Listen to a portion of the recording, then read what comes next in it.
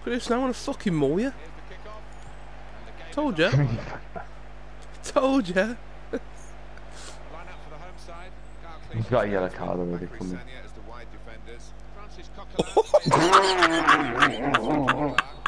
I think we both got yellow card. Well, I've definitely got one. Buried him into the ground. And, I don't think you've even got one. like literally, you sent him six foot under, like straight away. Didn't touch him. Die. you broke his neck.